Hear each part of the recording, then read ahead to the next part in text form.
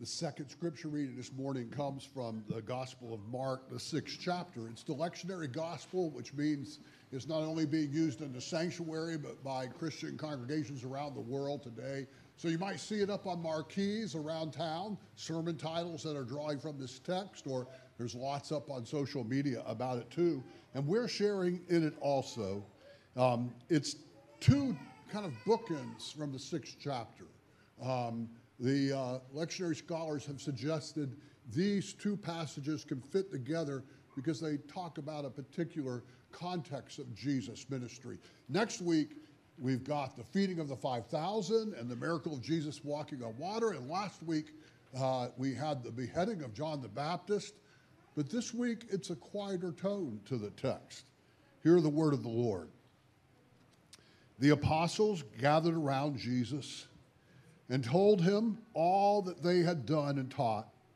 He said to them, Come away to a deserted place all by yourselves and rest a while. For many were coming and going, and they had no leisure even to eat. And they went away in the boat to a deserted place by themselves. Now many saw them going and recognized them, and they hurried there on foot from all the towns and arrived ahead of them as he went ashore, he saw a great crowd, and he had compassion for them because they were like sheep without a shepherd. And he began to teach them many things. When they had crossed over, they came to the land at Gennesaret and moored the boat. When they got out of the boat, people began at once to recognize him and rushed about that whole region and began to bring the sick on mats to wherever they heard he was. And wherever he went, into villages or cities or farms, they laid the sick in the marketplaces and begged him that they might touch even the fringe of his cloak. And all who touched it were healed. This is the word of the Lord. Thanks be to God. Please pray with me. Lord, may the words of my mouth and the meditations of our hearts be acceptable in thy sight, O God, our rock and our redeemer. Amen a gospel passage that brings us, coupled particularly with the passages Nicole read at the beginning about Sabbath from Genesis, these passages that bring us this emphasis on rest, and today's passages do that, all right? They're a good time for us to be aware of all of the people we see, not only in the community, but the world around us, who don't get the rest, whose work is oppressive, who are working out in the heat all summer long, who don't have the opportunity for renewal or restoration, who are working two jobs to make ends meet. I think these passages are a chance for us to be aware of them and to look for ways that we can express compassion or care for them. And one of those is certainly to hold them in our prayers. So I lift that up here as a part of my own reaction to this passage. But it's about rest. And one of the things it talks about is Jesus going on a trip, not a long trip, but a short trip for rest. He sent the apostles out, and he sent them out by twos. They're not carrying a lot, they're traveling light, and they have gone to share in the healings and to share in the teaching. They've gone to all the little different villages there around Galilee. And now, after that season, he's called them back to him, and he's encouraging them to rest for a while. Come apart and by yourselves and rest for a while. He wants to get in a boat, take them on a boat trip to a retreat place, to a, a deserted place, the text says. So I've seen you going on trips this summer. Uh, I've seen the pictures you've posted on social media, and some of it looks very renewing. Trips to the beach or to lakes or uh, places where you've gone in the mountains as you've tried to find uh, opportunities to renew yourself. So most of that looks like it's been away by yourselves for a while, if not a deserted place, a place apart from the crowd and your regular activities. Uh, and it looks like it's been a blessing. I, I think the scriptures are calling us into that intentionality about rest and renewal. And I've enjoyed looking at your stories across the summer. And Jesus takes the apostles apart here, and I think we all can identify with that feeling of being depleted. That's part of why we embrace summer because our own cups get empty from the regular routines and we set apart from those teams for a while. Um, this text just seems very connected with the cultural patterns that we live with here in this place of seasons of renewal and summer. Verse 31 Jesus said to them, Come away to a deserted place all by yourselves and rest a while. For many were coming and going, and they had no leisure even to eat. Have you ever been that busy? So busy that you didn't even have time to eat? In the 80s, I was the associate pastor here, and uh, I thought I was very busy. I'm not sure if I was as busy as I thought I was, but I was very impressed with my own busyness. and and um, I was uh, headed out after a day of work to the Presbyterian Conference Center on the Alafia River, which is a place apart, kind of a holy, deserted place meant for renewal. But we were having a committee meeting uh, out there because it was a central location. And um, we, the meeting was designed so that we would arrive at supper time, and dinner at Cedarkirk is a blessed thing there in the dining hall. We were going to be able to eat with the campers uh, who were there, with someone else having fixed a hot meal. But I was running in uh, late because I was so busy. And I got there uh, too late for dinner. I came through the dining room and was going straight down to the room where my committee meeting was going. But as, as I went through the room, the director of Cedarkirk, a guy named A.T. Brown, some of you remember A.T. Brown, he was sort of the bear of a fella. As I went through the room on my way to the meeting, he grabbed me by the arm. All right? And, and it wasn't just a love grab, it was a strong grab. He stopped me. And he said to me, Where are you going? I said, Well, I'm, I'm going down to the committee meeting. It's down in the room downstairs. And he said, But you haven't had anything to eat. And I said, Yeah, but I'm running late and I got to get down there. And he pulled me by that arm to a table and sat me down and motioned to some helpers in the room to bring the dinner tray over to me. And then he leaned over and got close to my face and he said to me, Who do you think you are? He may have said something like, Who in the heck do you think you are? It was a powerful moment for me. We all need rest. Jesus said to the disciples, Come away to a deserted place and rest a while. They were so busy they didn't even have leisure to eat. And they went away in a boat to a deserted place by themselves with him. But note what happens. As they're traveling in this boat, quote, verse 33 many people saw them going and recognized him, and they hurried there on foot to meet him there. And others arrived from towns ahead of him, and they brought their sick and those who needed attention with them.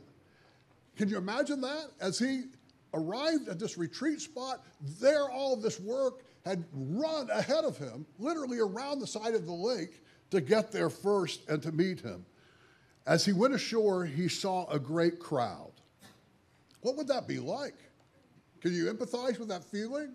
I mean, it's like you drive up to your beach condo, and there your supervisor has FedExed a big box of paperwork for you to do as you're there already, right? Or you're um, working in a restaurant and closing time is nine o'clock and the restaurant is just about empty. And at two minutes till nine, Pastor John with his big family enters, all right, and goes and sits down at the table waiting to be served. Or at seven o'clock at night, when you're ready to be done for the day, you get a text asking you if you could sign on to a Zoom meeting, right? Or you're coming home and you're ready just to sit down for a bit, and you enter a room that's full of unexpected laundry and dirty dishes and a lot of picking up to do. And you feel discouraged, fatigued, and maybe even angry. Um, fatigue is one of the things that depletes us. And discouragement can also deplete us.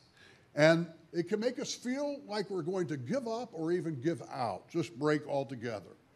So maybe you can empathize with the feelings the apostles and Jesus might have had here. But what does the text say Jesus did? Verse 34 As he went ashore, he saw a great crowd and he had compassion on them. The, the Greek word here is a verb that says he had compassion and it came out from him from his visceral area. It's as if it comes out from his self physiologically coming, growing up out of his heart. And they feel, as he sees them, his heart grows full of care. He had compassion because it says they were like sheep without a shepherd. Now, do you think um, seeing need empowers energy? Is that your experience? Sometimes it does. Sometimes seeing need can bring forward energy from us, but not always, right? If, especially not if we just see it repetitively over and over again, we give out and we might give up. But the text is telling us here Jesus is different.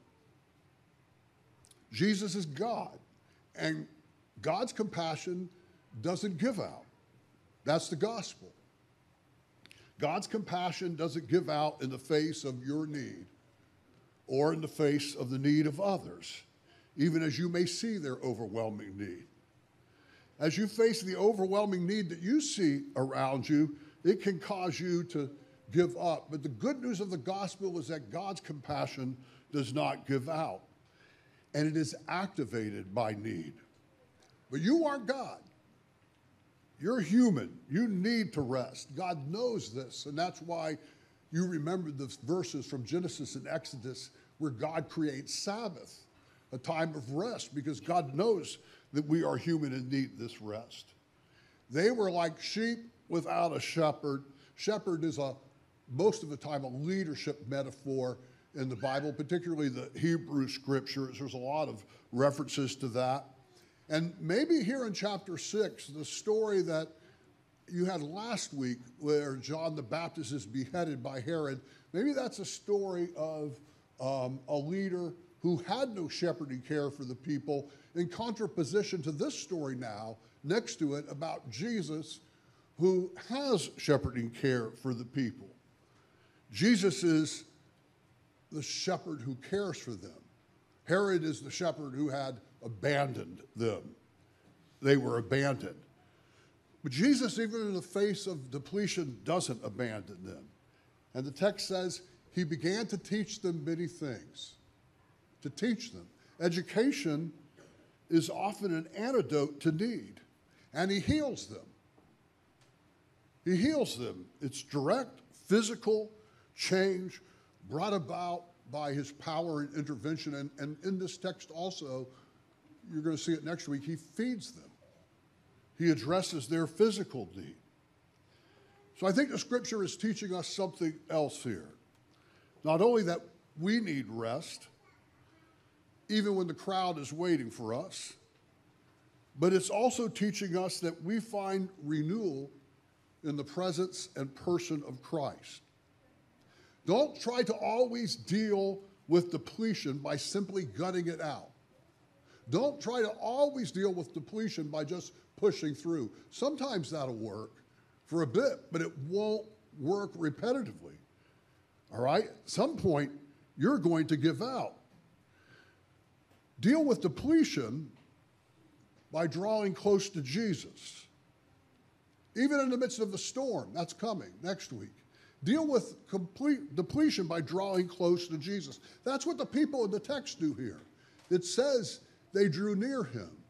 They brought their sick to him, their problems to him, close enough to touch him, even to touch the hem of his garment. Deal with depletion by drawing close to Jesus. How do you draw close to Jesus? Well, you talk to Nicole about that. I mean it seriously. She knows something right now about drawing close to Jesus, all right? How do you draw close to Jesus? Well, you talk to Jonathan Hughes about that. He knows something about it. He does. All right? how do you draw close to Jesus? What I'm saying here is you, you talk to each other about that. You have knowledge to share. Talk to Allison Kelly. She's leading a class next on ways in which we nurture our faith and draw close to Jesus. Talk with one another about how we do this. I'm telling you, it involves prayer. It certainly involves scripture. It certainly involves intentionality and rest. But you share this news with one another, this information. But drawing close to Jesus, this story is teaching us That restores awareness, it renews promise, it generates hope. Drawing close to Christ restores awareness of his loving presence. Drawing close to Christ renews awareness of his promise that we are not abandoned. Drawing close to Christ nurtures the generous hope that he will overcome adversity. You draw close to Christ when you are depleted. That is where we find our renewal. You know, in the sanctuary, we're going to uh, end this moment by singing a song. And I didn't use it here at the connection because I didn't think Roger would know it.